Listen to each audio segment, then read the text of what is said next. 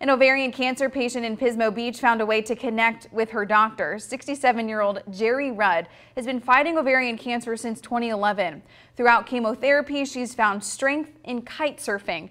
When she first met Dr. Erin Chamberlain at the UCLA Cancer Clinic in San Luis Obispo, Rudd found out Chamberlain also enjoys the sport and her doctor's husband is a professional kite surfer. Together, Rudd and Chamberlain say they hope to spread awareness of ovarian cancer and how important it is to seek help. And maybe I'm just extremely fortunate, but um, to be able to, to get through it and keep going, is, uh, I'm just very thankful. This doesn't have to be unique just to Jerry. Like I want this for all of my patients to have the option for quality of life and duration of life. What a special bond. Well, health experts say more than 80% of women with ovarian cancer are diagnosed during advanced stages when it is hardest to treat successfully.